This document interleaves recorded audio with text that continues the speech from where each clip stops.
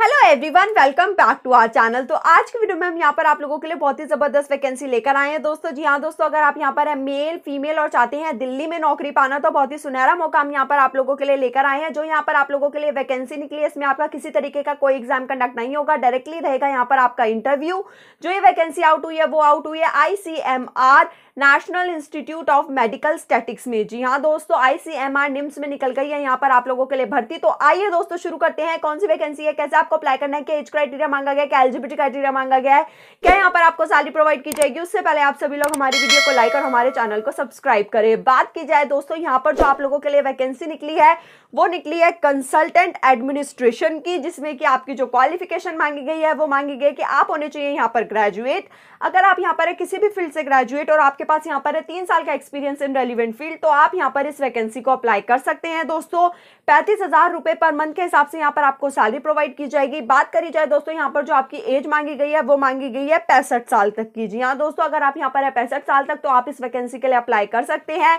अब बात कर लेते हैं कि आपको अप्लाई कैसे करना है। तो दोस्तों एप्लीकेशन फॉर्म का लिंक आपको नीचे डिस्क्रिप्शन में दे दिया जाएगा। आपको उसका प्रिंट आउट लेना है, उसे फिल करना है, उसके साथ अपने सारे सपोर्टिंग डॉक्यूमेंट्स अटैच करने हैं और आपको वहाँ पर अपने ओरिजिनल भी एंड फ़ोटो डॉक्यूमेंट दोनों लेकर जाने होंगे दोस्तों। उसके साथ आपको अपनी पासपोर्ट साइज़ फ़ोटो भी कैरी करनी होगी। यहाँ पर रहेगा आप लोगों का वॉक इन इंटरव्यू जिस भी दिन आप यहाँ पर वॉक इन इंटरव्यू के लिए जाएँगे उस दिन अपने साथ ये सारे के सारे डॉक्यूमेंट्स कैरी करिएगा दोस्तों।